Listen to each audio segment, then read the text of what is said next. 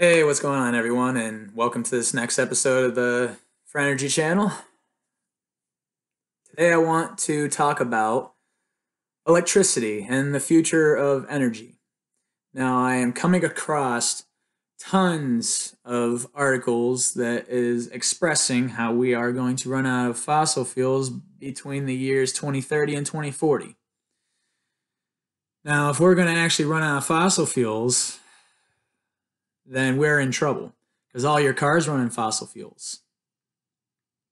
Gasoline, oil, all those things are really, really, they're a standard.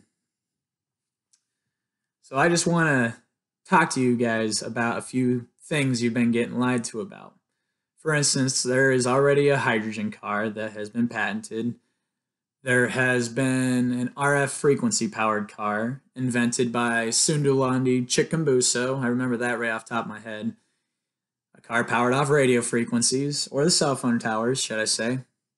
And it's a very good idea. The guy's living happy in California. The next idea I want to talk about is the Earth battery, which was discovered by Nathan Stubblefield all the way back in 1878, I believe. The Earth battery, which over time evolved to something known as, you know, a saltwater battery, which I think is one of the most sustainable forms of energy besides the crystal battery that was discovered by John Hutchison. Those batteries can last for years on a single charge, and they're powered by crystals and no liquid. If you look up John Hutchison's channel, it will express everything about it along with how he's able to manipulate different matters, metals, and bond them together by throwing frequencies at them using his Tesla coils. It's really amazing stuff how he does it. Uh, another big energy problem that, or energy lie, should I say, that we've been getting lied to about is something known as radiant atmospheric electricity. Now, if any of you have seen in my previous videos, I have made a couple of recent videos demonstrating how I can tap in to high frequency voltage at a higher elevation.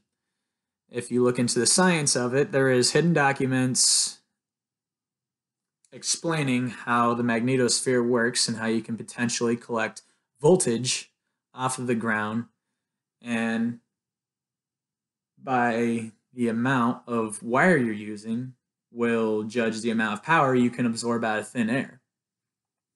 Pretty different stuff. But what really has me connecting the dots is is the electricity companies actually lying to us?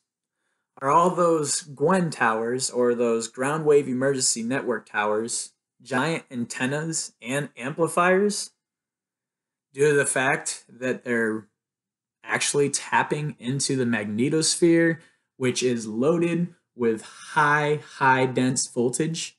If you look up Lasersaber's YouTube channel, he actually does a perfect performance of showing atmospheric electricity and demonstrating how it works on an electrostatic motor. That really amazes me. It kind of tells me that they're absorbing voltage out of the sky and they're sending it through the power lines, which is also working as an amplifier because it's all magnetic. The whole magnetosphere is magnetic with voltage. So you can amplify frequencies with that given voltage. It's going to get even more weird. If you think I'm lying, look up Nikola Tesla's Wardenclyffe Tower that he built back in 1901.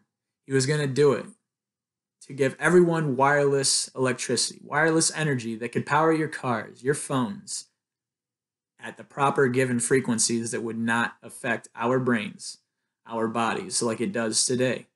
We're going to get rippled apart by our government's rework of Tesla's discoveries. So I just want to let you guys all know now that if you don't open your minds to Tesla's technology, we're all going to be doomed. And I hate to smile about it, but everybody just jokes about it. And I'm not really sure how to express myself at this point. I don't know how much time we are going to have left if nobody starts educating their children on electricity, educating their children on the truth about the lies, not conspiracies. When you're conspiring for the truth and you can scientifically prove the truth, doesn't that make you a somebody? You have to really look deep.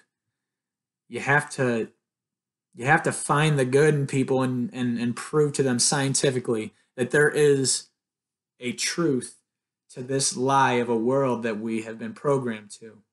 And Tesla is the only way to unlock this secret. There is no other way. Tesla is the only way you can unlock your mind. Remember that.